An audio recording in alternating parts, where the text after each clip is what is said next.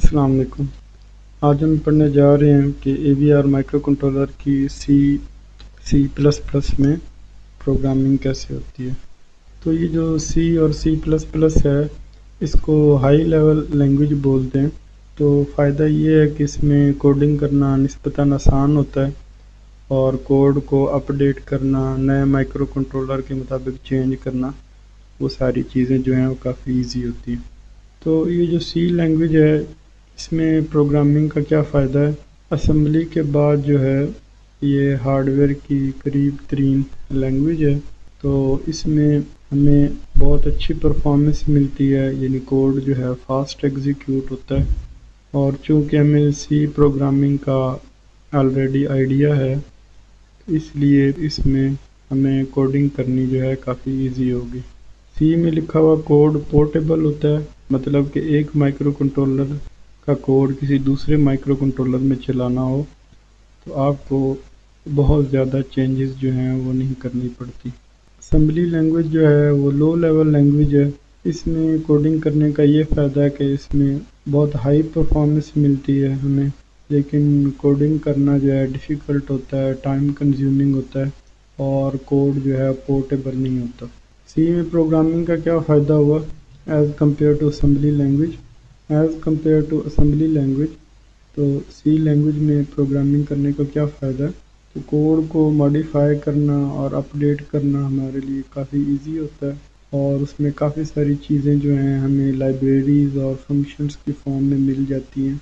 और एक सी का कोड एक माइक्रो कंट्रोलर के लिए लिखा हुआ, उसको मॉडिफिकेशन करके दूसरे माइक्रो कंट्रोलर पे भी चलाया जा सकता है। असम्बली में फ़ायदा ये है कि जब हम कोड को कंपाइल करते हैं तो एक हेक्स फ़ाइल बनती है। तो हेक्स फ़ाइल जो है वो हम माइक्रो कंट्रोलर की मेमोरी में लोड करते हैं ना। तो असम्बली में प्रोग्रामिंग का ये फ़ायदा कि हेक्स फ़ाइल का साइज़ जो है बहुत ही कम बनता है। लेकिन असम्बली में कोडिंग जो है वो टाइम कंज्यूमिंग है और उसके मुकाबले में सी लैंग्वेज में या सी प्लस प्लस में हम कम टाइम में ज़्यादा अच्छा प्रोग्राम लिख सकते हैं।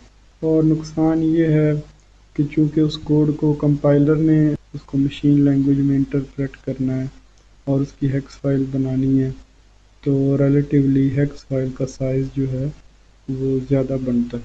अब आर्डिनो में प्रोग्रामिंग करने के लिए कौन कौन सी डाटा टाइप्स हैं और उनकी क्या रेंजेस हैं? तो सबसे पहली डाटा टाइप है बूल तो इसमें ट्रू या फॉल्स सेव होता है। ट्रू का मतलब वन है और फॉल्स का मतलब ज़ीरो है।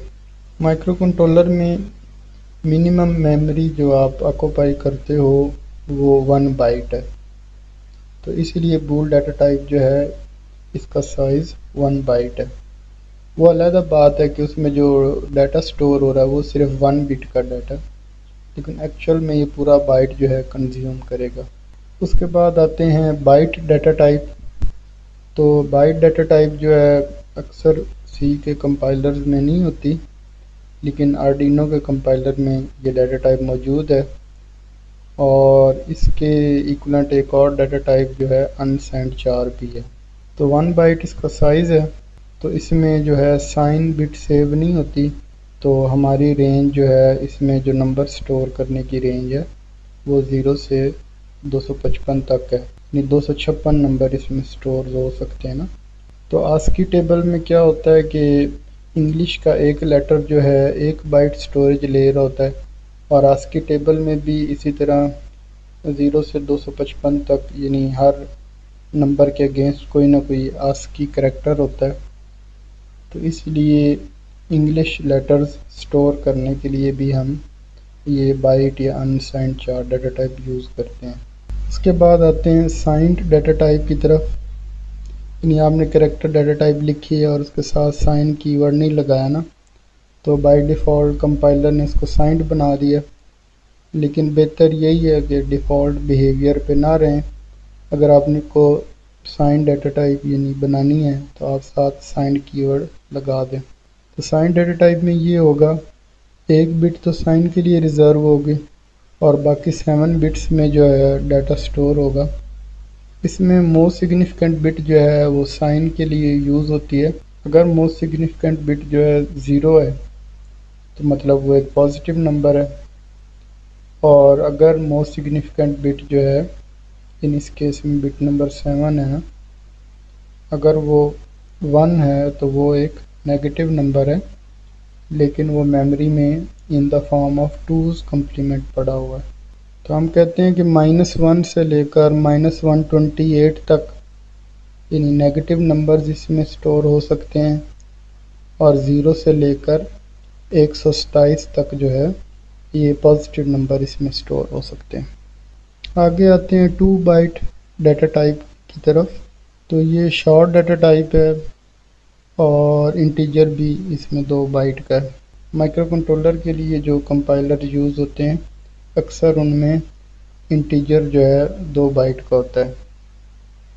विंडोज़ प्रोग्रामिंग के लिए जो कंपाइलर यूज़ होते हैं, उनमें नॉर्मली इंटीजर जो है, चार बाइट का होता है। तब इसमें हम साइन बिट भी स्टोर कर रहे हैं। तो ये टोटल सिक्सटीन बिट्स हैं, एक बिट साइन के लिए बन गए। तो हमारी रेंज बनी minus thirty two thousand seven hundred sixty eight से लेकर positive thirty two thousand seven hundred sixty seven तक। अब आते हैं अनसाइंड शॉर्ट डाटा टाइप की तरफ़। इसमें हम साइन सेव नहीं कर रहे और इसी तरह एक और डाटा टाइप है वर्ड तो ये भी सी के कंपाइलर्स में अमूमन नहीं होती, लेकिन आर्डिनो के कंपाइलर में ये डाटा टाइप मौजूद है वर्ड डाटा टाइप तो ये भी टू बाइट है। तो इसमें हमारी स्टोरेज की जो रेंज है वो होगी ज़ीरो से लेकर sixty five thousand five hundred thirty five तक होगी। अब फोर बाइट डाटा टाइप की तरफ़ आते हैं तो वो है साइंड लॉन्ग या लॉन्ग तो एक बिट साइन के लिए रिज़र्व हो गया तो नेगेटिव पॉजिटिव में हमारी ये रेंज बनी। तो उर्दू में ये बना दो अरब चौदह करोड़ चौहत्तर लाख तिरासी हज़ार छः सौ अड़तालीस से लेकर, यानी पॉजिटिवली छः सौ सैंतालीस तक। और अगर हम अनसाइंड लॉन्ग यूज़ करते हैं तो अब हमारी रेंज क्या होगी? ज़ीरो से लेकर चार अरब उनतीस करोड़ उनचास लाख सतासठ हज़ार दो सौ पचानवे तक होगी। तो ये सारी डाटा टाइप्स तो थी ना कि अगर नंबर जो है होल फॉर्म में है ना पॉइंट फॉर्म में नहीं है। अगर नंबर पॉइंट फॉर्म में है, जैसे 1.3 या 1.4 तो इसके लिए जो डाटा टाइप यूज़ होती है, वो फ्लोट भी है और डबल भी है। विंडोज़ कंपाइलर में तो डबल जो है एट बाइट का होता है और फ्लोट फोर बाइट का होता है। लेकिन आर्डिनो उनो बोर्ड के लिए जो आप कंपाइलर यूज़ करते हो आर्डिनो का, उसमें फ्लोट और डबल जो हैं, दोनों का साइज़ जो है फोर बाइट है, यानी थर्टी टू बिट्स है। इसमें हमारी रेंज बनी डाटा को स्टोर करने की या नंबर्स को स्टोर करने की minus three point four zero two eight into ten's power thirty eight से लेकर positive three point four zero two eight into ten's power thirty eight तो ये हमारी स्टोरेज कैपेसिटी यानी डाटा की रेंज बनी। आर्डिनो कंपाइलर में मज़ीद भी डाटा टाइप्स या कॉन्सेप्ट्स हैं जिनको हम प्रोग्रामिंग में यूज़ करते हैं। जैसे आप इंटीजर्स की एरे है या करेक्टर्स की एरे है। और उसके अलावा इसमें एक स्ट्रिंग नाम की क्लास है। तो उसका हम ऑब्जेक्ट बना के उसको डायनामिकली जो है ये डाटा असाइन कर सकते हैं। तो फ़ंक्शन के शुरू में वाइड लिखते हैं, यानी मतलब कि ये फ़ंक्शन जो है रिटर्न कुछ नहीं कर रहा ना। इसी तरह साइज़ ऑफ़ ऑपरेटर है, जिसकी मदद से हम ये मालूम कर सकते हैं कि किसी भी डाटा टाइप का या किसी भी वेरिएबल का या किसी भी एरे का साइज़ जो है कितना बाइट है। यानी हम देखना चाह रहे हैं इस कंपाइलर में इंटीजर जो है कितने बाइट का तो हम लिखेंगे साइज़ ऑफ़ इंट तो हमें टू रिटर्न करेगा तो उससे हमें पता चलेगा कि इस कंपाइलर में इंटीजर जो है वो दो बाइट का इसी तरह कॉन्स्ट कीवर्ड भी यूज़ करते हैं कि हमने कोई वेरिएबल बनाया है उसको हमने इनिशियल वैल्यू दे दिए अब हम चाह रहे हैं कि कोई भी कोड कर रहा है तो अब वो इसको चेंज नहीं कर सकता ना। यानी वेरिएबल भी बन गया, उसको इनिशियल वैल्यू भी मिल गई। अब इसको हर कोई रीड तो कर ले, लेकिन इसको मॉडिफाई नहीं कर सकता ना।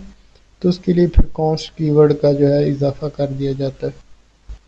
इस तरह स्टैटिक कीवर्ड भी यूज़ होता है। तो जो लोकल वेरिएबल्स होते हैं, वो फ़ंक्शन के कॉल होने पे बनते हैं। उनको फ़ंक्शन उन वेरिएबल्स को यूज़ करता है। जब फ़ंक्शन एग्जीक्यूट हो जाता है फ़ंक्शन से हम बाहर निकल आते हैं तो वो लोकल वेरिएबल्स जो हैं, वो मर जाते हैं। फिर दोबारा फ़ंक्शन कॉल होता है, फिर दोबारा से वो वेरिएबल्स बनते हैं फ़ंक्शन के अंदर यूज़ होते हैं, फिर फ़ंक्शन से बाहर निकले, फिर वो मर गए। तो स्टैटिक वेरिएबल्स का ये फ़ायदा है कि ये जब हम फ़ंक्शन से बाहर निकलते हैं तो ये वेरिएबल ज़िंदा रहते हैं और इन्होंने अपनी प्रीवियस वैल्यू रिटेन की होती है। तो जब हम दूसरी दफ़ा फ़ंक्शन कॉल करेंगे तो उन वेरिएबल्स को पता होगा कि जब पिछली दफ़ा फ़ंक्शन एग्जीक्यूट हुआ था तो उनकी वैल्यू क्या थी। इसी तरह अर्डिनो कंपाइलर में प्रॉग मेम कीवर्ड भी यूज़ होता है। यानी बाज़ का आप चाहते हो कि डाटा जो है ना यानी माइक्रो कंट्रोलर की फ्लैश मेमोरी में आपने प्रोग्राम बर्न किया है ना हेक्स फ़ाइल आपने राइट की है। तो अब बजाय वो वहाँ से वो डाटा माइक्रो कंट्रोलर की रैम में जाए, फिर रैम से वो डाटा जो है सीरियली ट्रांसफ़र हो या कहीं और जाए तो रैम तो अच्छी इसका मतलब फिर वो रैम भी यूज़ कर रहा है। समटाइम्स ऐसा होता है कि हमारा डाटा जो ना रीड ऑनली होता है। जैसे मसलन महीनों के नाम है, जनवरी, फरवरी, मार्च, अप्रैल है, या दिनों के नाम है हफ़्ता इतवार पीर मंगल, बुध, यानी सैटरडे संडे मंडे तो हम चाह रहे हैं ये जो नाम है, वहीं इसकी कोड मेमोरी से रीड हो, और वहीं से ही आगे पैरेलल पोर्ट पे चला जाए, या सीरियली एलसीडी को ट्रांसमिट हो जाए। यानी रैम में वो बिला वजह ना आए ना। क्योंकि इसमें टू किलो बाइट रैम है तो बहुत ज़्यादा वेरिएबल्स भी तो नहीं बना सकते ना, या बहुत बड़ी बड़ी एरेज भी तो नहीं बना सकते ना। तो उसके लिए फिर जो है प्रॉग मैम जो है, ये कीवर्ड यूज़ होता है। इससे फ़ायदा ये होता है कि हम अपना जो रीड ऑनली डाटा है, वो वो माइक्रो कंट्रोलर में की फ्लैश मेमोरी में रख सकते हैं, और वो रैम में आए बगैर डायरेक्टली वहीं से रीड होके चला जाएगा, जिधर भी हमने भेजना है। अब ये जो ई वी आर माइक्रो कंट्रोलर है ATmega three two eight Arduino Uno board पे ये वाली चिप लगी होती है। तो 28 पिंस की ये चिप है। सपोज़ हम इसको ब्रेड बोर्ड पे चलाना चाहते हैं ना। तो बाय डिफ़ॉल्ट इसमें यही होता है कि ये इसका इंटरनल क्रिस्टल ऑसिलेटर जो है वो यूज़ कर रहा होता है ना फ्यूज़ बिट्स होती हैं। यानी अगर फ्यूज़ बिट्स चेंज कर दी जाए तो एक्सटर्नली हम 16 मेगाहर्ट्ज़ का क्रिस्टल इसको लगा सकते हैं।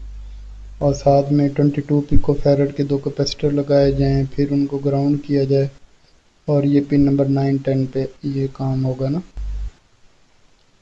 और 5 वोल्ट हमने दो जगहों पे देने हैं पिन नंबर सेवन पे और पिन नंबर ट्वेंटी पे, यानी पिन नंबर सेवन पे और पिन नंबर ट्वेंटी पे। और ग्राउंड भी दो जगह पे देना है। पिन नंबर एट और पिन नंबर ट्वेंटी टू पे। और ये पिन नंबर वन जो है रीसेट की पिन है तो वहाँ पर आपने पुल अप रजिस्टर लगा दी और एक पुश बटन लगा दिया। ये कैपेसिटर इसलिए लगाया कि जब ये पावर ऑन हो तो एक दफ़ा ऑटोमेटिकली रीसेट हो जाए ना। और ये हमारा मैनुअल रीसेट का बटन है कि जब भी ये बटन प्रेस करेंगे तो माइक्रो कंट्रोलर रीसेट हो जाएगा। और शुरू से प्रोग्राम जो है दोबारा चलने लग जाएगा। तो अब ये डिस्कस करते हैं कि ये जो 28 पिन की आईसी है, इसमें कौन कौन सी पिन हैं जिनको हम एज आ इनपुट या एज आउटपुट पिन यूज़ कर सकते हैं ना? तो 28 में से टोटल 23 पिन हैं जिनको हम एज आ इनपुट या एज आउटपुट पिन यूज़ कर सकते हैं।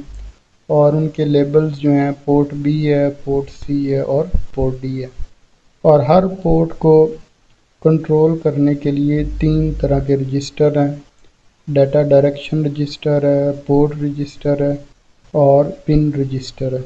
इस माइक्रो कंट्रोलर में 23 पिन्स हैं, जो as a input output pins जो हैं यूज़ हो सकती हैं। तो 23 कैसे बनी? आठ पिन्स जो हैं, पोर्ट डी की हैं छः पोर्ट बी की हैं और छः पोर्ट सी की हैं। तो ये छः और छः बारह और आठ बीस हो गई। अब उसके अलावा ये जो दो क्रिस्टल ऑसिलेटर की पिन्स हैं तो अगर हम इंटरनल क्रिस्टल ऑसिलेटर यूज़ करते हैं, यानी फ्यूज़ बिट्स को मॉडिफाई करते हैं तो ये दो पिन्स जो हैं, ये भी as input output pin use हो जाएँगी। और इसी तरह अगर हम ये रीसेट की पिन जो है, ये यूज़ नहीं करते रीसेट पर्पज़ के लिए और फ्यूज़ बिट्स में इसको मॉडिफाई कर देते हैं। तो ये भी साथ शामिल हो गई। तो हमारे पास इस तरह जो है बीस ये और तीन ये टोटल जो है ट्वेंटी थ्री पिन्स बन जाती हैं। तो तमाम पिंस को हमने यानी तीन ग्रुप्स में डिवाइड कर दिया है। यानी पोर्ट डी है पोर्ट बी है और पोर्ट सी है। हर पोर्ट को एक्सेस करने के लिए या कंट्रोल करने के लिए तीन तरह के रजिस्टर्स हैं, जो उस माइक्रो कंट्रोलर में यूज़ हो रहे हैं ना। जैसे D D R B D D R C D D R D तो ये डाटा डायरेक्शन रजिस्टर है, जो ये सेट करता है उस पोर्ट की, कि जो पिन है या जो सारी पिन्स हैं, वो एज इनपुट होंगी या एज आउटपुट पिन्स होंगी। इसी तरह port B port C port D registers हैं। इनका ये काम है कि अगर यानी आपने पिन को बनाया कि आउटपुट पिन है तो आप इन रजिस्टर्स में डाटा डालोगे और उधर से आपने उसको आउटपुट पिन कन्फिगर किया हुआ है तो वो डाटा जो है आपको अब बाहर पिन्स पर नज़र आएगा। और इसी तरह pin B pin C pin D registers हैं। इनका ये काम है कि अगर हमने उन पोर्ट्स को इनपुट पोर्ट कन्फिगर किया है, यानी डीडीआर की मदद से। तो फिर हम जो है, जो लॉजिक ज़ीरो या वन माइक्रो कंट्रोलर को इनपुट कर रहे हैं तो वो पिन रजिस्टर को रीड करने से हमें वो बाहर वाला डाटा अंदर कोडिंग में हमें मिल रहा होगा। अब इस एग्ज़ाम्पल में देखें कि ये पोर्ट रजिस्टर है और ये पिन रजिस्टर है और ये डी डी आर रजिस्टर है ना? यानी और ये किसी एक बिट के लिए ये हार्डवेयर डायग्राम है ना। तो ये ट्राई स्टेट बफर्स हैं तो इसकी कंट्रोल पिन पे जो है डी डी आर रजिस्टर लगा हुआ है।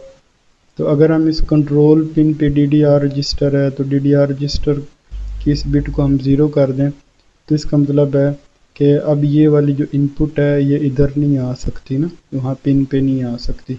इन पोर्ट रजिस्टर का डाटा बफर से होता हुआ पिन पे नहीं आ सकता। क्योंकि हमने इसकी कंट्रोल की पिन को लॉजिक ज़ीरो दिया है ना।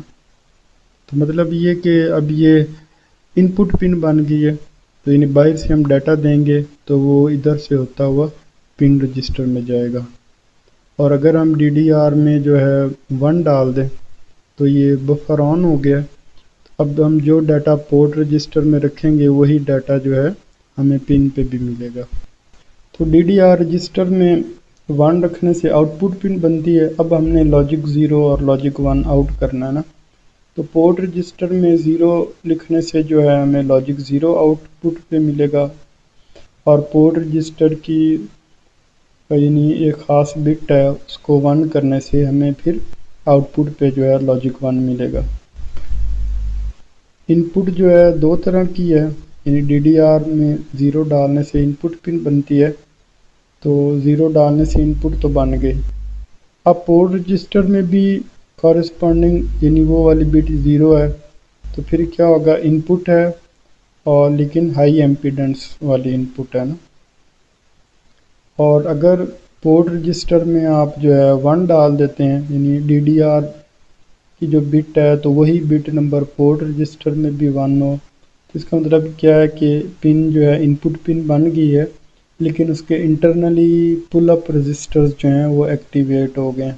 तो अब इधर ये बता रहे हैं, बजाय हम एक्सटर्नल पुल अप रजिस्टर लगाएँ और एक पुश बटन लगाएँ, फिर उसको ग्राउंड करें। तो बेहतर है प्रोग्रामिंग में आप कोड लिख के इंटरनली जो पुल अप्स लगे हुए हैं, उनको इनेबल कर दो और बाहर रजिस्टर लगाने की ज़रूरत ही नहीं है। तो बटन जब ये ओपन है तो इन पुलअप्स की वजह से हमें लॉजिक वन मिलेगा। और जब ये बटन क्लोज है तो ग्राउंड की वजह से हमें लॉजिक ज़ीरो मिलेगा। तो सबसे पहले प्रोग्राम की तरफ़ आते हैं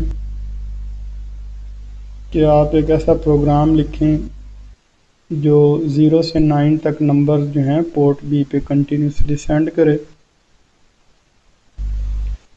तो आर्डिनो में जब भी कोडिंग करते हैं तो दो तरह के फ़ंक्शंस होते हैं, एक सेटअप होता है और एक लूप होता है। सेटअप फ़ंक्शन में आप वो वाला कोड लिखते हो जो माइक्रो कंट्रोलर के पावर ऑन होने पे सिर्फ़ एक मरतबा चले। और लूप फ़ंक्शन की बॉडी में आप वो वाला कोड लिखते हो जो कि जब तक माइक्रो कंट्रोलर पावर ऑन है, ये कोड जो है बार बार एग्जीक्यूट हो। तो हमने माइक्रो कंट्रोलर को ऑन किया। तो सबसे पहले तो सेटअप फ़ंक्शन चलेगा, इसके अंदर जो कोड लिखा है वो चलेगा। उसके बाद अब ये सेटअप फ़ंक्शन दोबारा एग्जीक्यूट नहीं होगा। अब जो है बार बार ये लूप फ़ंक्शन जो है, ये चलता रहेगा जब तक वो पावर ऑन है। तो इसमें हमने एक फॉर लूप बनाई है कि जब भी हम इस फ़ंक्शन के अंदर आएँ, एक फॉर लूप जो है ज़ीरो से नाइन तक चले, यानी दस दफ़ा फॉर लूप चले ना, और हर दफ़ा जो भी नंबर है वो पोर्ट बी पे चला जाए ना। तो सेटअप में हम कह रहे हैं कि पोर्ट बी पूरी की पूरी जो है वो आउटपुट पोर्ट बन जाए। यानी ये देखें ना, ये जो ब्लू पिंस हैं, यानी पी बी ज़ीरो है ये वाली P B one two three four five और ये पी बी सिक्स और पी बी सेवन इन ब्लू पिंस पे हम डाटा ले रहे हैं ना। तो लूप में हम कह रहे हैं कि जब भी लूप में आए जब भी हम लूप फ़ंक्शन में जाएँ तो उसके अंदर फिर फॉर लूप में चले जाएँ फिर फॉर लूप जो है दस दफ़ा चले और ज़ीरो से लेकर नाइन तक जो है बारी बारी नंबर जो हैं पोर्ट बी पे आएँ। तो बीच में डिले तो कोई हमने कॉल ही नहीं किया तो इतनी तेज़ी से ये नंबर आएँगे बारी बारी तो हम इसको जो है आ, पढ़ ही नहीं पाएँगे कि इसका कौन सा नंबर जो है पोर्ट बी पे नज़र आ रहा है। अब अगर हमने इस कोड को कंपाइल करना है और इसको प्रोटियस में इसकी सिमुलेशन करनी है तो सारे काम कैसे होंगे? तो ये कोड आपने कॉपी कर लिया। तो आर्डिनो कंपाइलर को रन किया। तो यहाँ हमने कंट्रोल ए कंट्रोल वी करके हमने अपना कोड पेस्ट कर दिया। उसके बाद ये करना है कि फ़ाइल में जाएँ और वहाँ पे जो है प्रेफरेंस पे जाएँ। तो प्रेफरेंस पे क्लिक करने पे ये विंडो आई है। तो यहाँ पर आपने ये जो show verbose output during compilation है, इस पे आपने जो है चेक बॉक्स को लगाना है। बाय डिफ़ॉल्ट ये चेक बॉक्स नहीं लगा होता है तो इसको आपने लगाना है। और यहाँ पर आपने फ़ॉन्ट वगैरह बड़ा करना है तो वो भी कर सकते हैं ना। तो इसको ओके कर दिया। उसके बाद अब हम इसको कंपाइल करके हेक्स फ़ाइल जनरेट कर रहे हैं।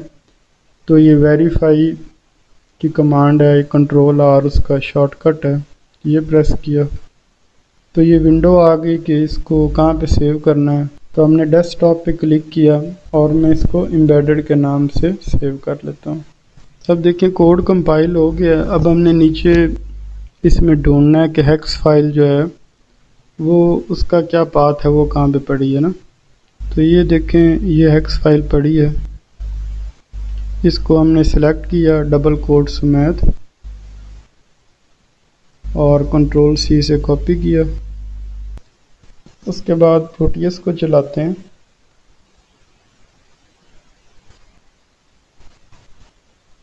तो प्रोटियस में हमने ये पी बटन पे क्लिक किया और इसमें आर्डिनो लाइब्रेरीज़ मैंने ऑलरेडी डाली हैं।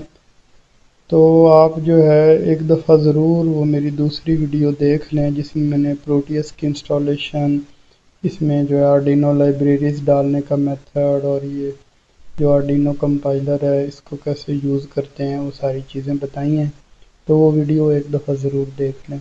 अब इसमें आर्डिनो सर्च करते हैं। A R D U I N O तो ये एम्यूलेटर्स में Arduino Uno R three R है। तो ये हमने सिलेक्ट किया। इसको यहाँ पे प्लेस किया। थोड़ा जूम कर लेते हैं। अब इसको राइट क्लिक किया प्रॉपर्टीज़ में गए, और यहाँ पर हमने वो वाला पाथ जो है एक्स फ़ाइल का वो पेस्ट कर दिया। ओके किया। अब इसको सिमुलेशन को रन करते हैं। तो ये देखें पोर्ट बी की ये जो बिट्स हैं, यानी पी बी ज़ीरो से लेकर पी बी थ्री तक, यानी इनमें हमें ज़ीरो से लेकर नाइन तक नंबर जो हैं वो बारी बारी आ रहे हैं। लेकिन इतनी तेज़ी से आ रहे हैं कि हमें जो है समझ नहीं आ रही कि किस टाइम पे कौन सा नंबर आउटपुट हो रहा है। तो उसका फिर आसान तरीका ये है कि एक डिले फ़ंक्शन इसमें होता है, वो कॉल किया जाए। तो इसको जो है मैं करता हूँ रोटेट क्लॉकवाइज और इसको थोड़ा ड्रैग करके थोड़ा सा साइड पे लाए।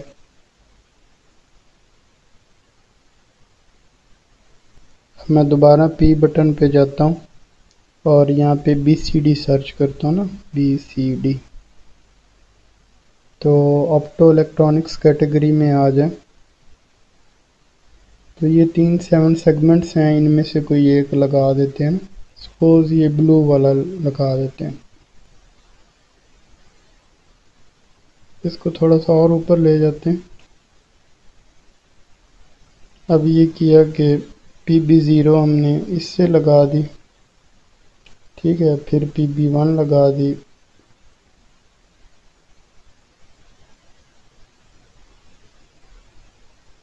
ये हमने पी बी टू लगाई। और ये जो है पी बी थ्री लगा दी। अब इसको प्ले करें। तो देखें नंबर्स आ रहे हैं, लेकिन पता नहीं चल रहा ना। अब इसको स्टेप बाय स्टेप एग्जीक्यूट करते हैं। तो देखें फोर आया, फिर नाइन आया। अभी भी सिमुलेशन जो है, बहुत ज़्यादा फास्ट है ना। चलें, फिर कोड में मॉडिफिकेशन करते हैं। यानी फॉर लूप के बाद जो है करली ब्रैकेट लगाई और पोर्ट पे नंबर डिस्प्ले और उसके बाद जो है, एक सेकंड का डिले हो। तो डिले वन थाउज़ेंड यानी थाउज़ेंड मिली का डिले हो। इसके बाद करली ब्रैकेट क्लोज की। तो ये हमारा कोड आ गया। अब इसको हमने वेरीफाई किया। तो जब तक ये कंपाइलर ऑन है ना, आपने इसको बंद नहीं किया ना तो हेक्स फ़ाइल का पाथ जो है ना, वो चेंज नहीं होगा। इसको बंद करके दोबारा चलाएँगे तो हेक्स फ़ाइल का पाथ चेंज हो जाएगा। प्रोटियस में हमें नया पाथ डालना पड़ेगा ना। अभी हमने इसको बंद नहीं किया। तो इसलिए हमें अब हर दफ़ा वो पाथ वहाँ पेस्ट करने की ज़रूरत नहीं है। अब इसको सिमुलेशन को चलाते हैं। देखें, सबसे पहले ज़ीरो आया, फिर वन टू थ्री इसी तरह अप टू नाइन जाएगा, फिर दोबारा ज़ीरो आ जाएगा।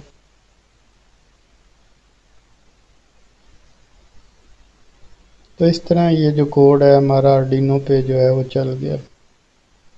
तो अगर हमने इसको आर्डिनो उनो बोर्ड पे सचमुच में चलाना है तो उसका तरीकाकार ये है कि एक तो ये देखें कि टूल्स में जाएँ और आपका बोर्ड आर्डिनो उनो सेलेक्ट होना चाहिए। ना इवन सिमुलेशन के लिए भी ज़रूरी है कि बोर्ड आपका सही वाला चूज़ हो ना, क्योंकि आर्डिनो उनो बोर्ड में सिमुलेशन कर रहे हैं ना तो इसलिए ये ऑप्शन उनो वाली चूज़ होनी मस्ट है।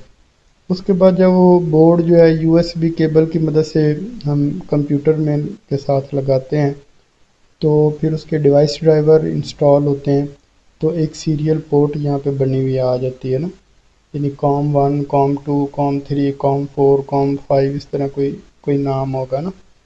तो वो तो हम वो पोर्ट सेलेक्ट कर लेंगे जिसके साथ वो अर्डिनो उनो बोर्ड लगा हुआ है ना? तो अब हम कौन सा बटन दबाएँगे? अपलोड वाला बटन दबाएँगे। तो फिर क्या होगा? ये जो हेक्स फ़ाइल है, अब ये उनो बोर्ड पे अपलोड हो जाएगी। तो पावर भी उसको यूएसबी से मिल रही है।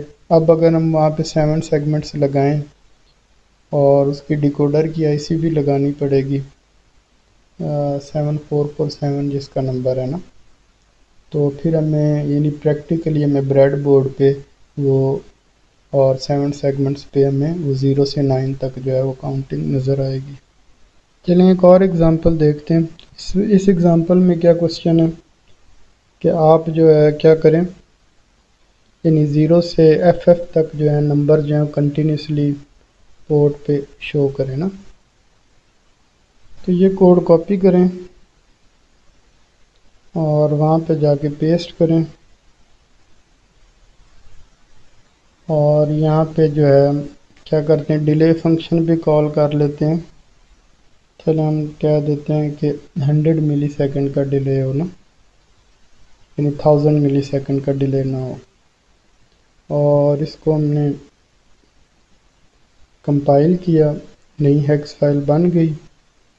पाथ डालने की ज़रूरत नहीं है, क्योंकि कंपाइलर को तो हमने बंद ही नहीं किया। अब करना ये है कि एक और सेवन सेगमेंट लगाएँ।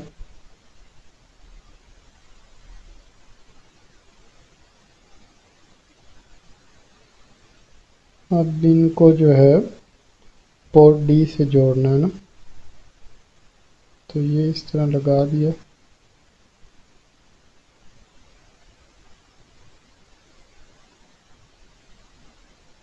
तो वायर को दो दफ़ा राइट क्लिक करने से वो वायर जो है इरेज हो जाती है। तो ये वायर्स हमने उतार दी। और ये बिट नंबर ज़ीरो है। ये बिट नंबर वन है। टू और ये बिट नंबर थ्री आ गई। अब इसकी सिमुलेशन को चलाते हैं।